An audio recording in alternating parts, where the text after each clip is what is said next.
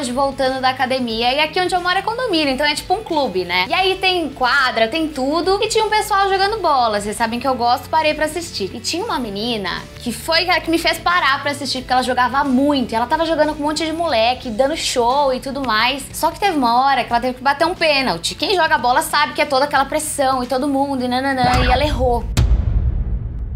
Gente, o que fizeram de piada com a menina, o que zoaram ela no meio do jogo, eu fiquei assim, pasma. E eu lembrei de uma situação, porque vocês sabem que eu gosto de jogar bola, vocês sabem que eu sempre fui de esporte e tudo mais. Eu lembro uma vez que eles me zoaram muito. Assim, eu fiquei mal, porque viviam me dando apelidinho. É, eu era praticamente a única menina que jogava. Então, qualquer coisinha que acontecia. Ai, só podia ser mulher mesmo, porque é, não sabe jogar. O que, que tá fazendo aqui no meio dos meninos? Mas eu nunca liguei pra essa zoeira dos meninos. Até porque se eu ligava, eles entravam na pilha. E aí eles me zoavam mais ainda. Mas eu sempre continuei fazendo esporte, sempre joguei bola. E teve uma vez que tava rolando um campeonato na escola que eles adoravam fazer, né? E eu adorava também participar, sempre jogava. E era minha sala contra a sala de um pessoal mais velho. Só eu de menina jogando lá no meio. E sobrou pra alguém cobrar uma falta. Toda a pressão, escola inteira assistindo. E eu falei, agora eu vou quebrar a cara deles, né? Vou cobrar essa falta. Vai ser minha vez de, de brilhar. Dito e feito, consegui fazer o bendito gol. Os meninos pararam de me zoar. A gente ganhou o jogo. Nem eu acredito.